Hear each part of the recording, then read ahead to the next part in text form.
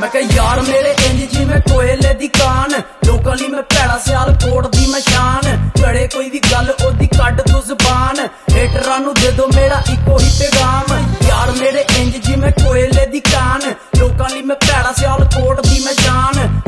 ਵੀ ਗੱਲ ਉਹਦੀ ਕੱਢ ਤੂੰ ਜ਼ਬਾਨ।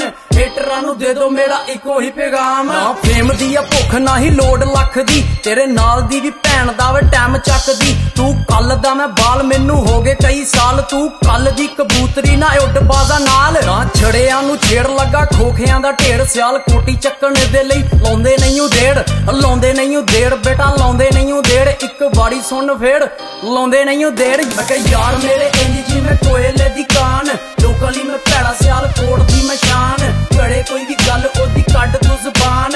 ਹੇਟਰਾਂ ਨੂੰ ਦੇ ਦੋ ਮੇਰਾ ਇੱਕੋ ਹੀ ਪੈਗਾਮ। ਯਾਰ ਮੇਰੇ ਇੰਜ ਜਿਵੇਂ ਕੋਇਲੇ ਦੀ ਕਾਨ, ਲੋਕਾਂ ਲਈ ਮੈਂ ਭੈੜਾ ਸਿਆਲ ਕੋਟ ਦੀ ਮੈਂ ਜਾਨ ਕੜੇ ਕੋਈ ਵੀ ਗੱਲ ਉਹਦੀ ਕੱਢ ਤੂੰ ਜ਼ਬਾਨ। ਹੇਟਰਾਂ ਨੂੰ ਦੇ ਦੋ ਮੇਰਾ ਇੱਕੋ ਹੀ ਪੈਗਾਮ।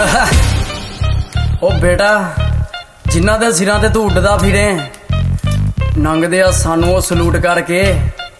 ਸੁਣ ਲਿਆ? ਲੈ ਸੁਣ। ਕਹਿੰਦੇ 21 ਸਾਲਾਂ ਦਾ ਮੁੰਡਾ ਕੈਮ ਲੱਗਦਾ। ਤੂੰ ਟਾਈਮ ਕੱਢ ਬੇਟਾ, ਮੈਂ ਵੀ ਵਹਿਮ ਕੱਢਦਾ। ਦੇਖ ਹੇਟਰ ਵੀ ਅੱਜ ਕੱਲ ਨਾਮ ਜਪਦੇ। ਉਹ ਚਿੜੀਆਂ ਦੇ ਕੋਲੋਂ ਨਹੀਂ ਉਹ ਬਾਜ ਦੱਬਦੇ। ਦੇਖ ਸੋਚ ਤੂੰ ਮੱਚ, ਮੈਂ ਵੀ ਬੋਲਦਾ ਆ ਸੱਚ। ਮਿਲਣੇ ਦੀ ਗੱਲ ਬੇਟਾ, ਮੈਂ ਵੀ ਨਹੀਂ ਉਹ ਘੱਟ।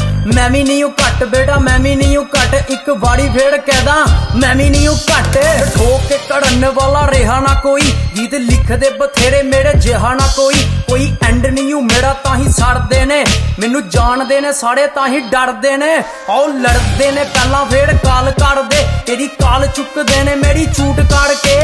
ਕਾਲ ਚੁੱਕਦੇ ਨੇ, ਮੇਰੀ ਝੂਟ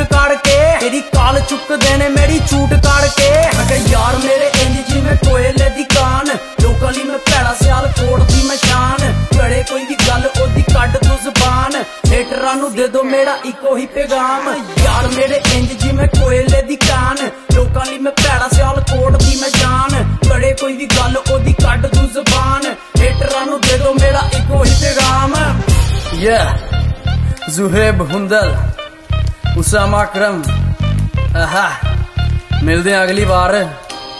ਯਾਦ ਕਰੀਂ।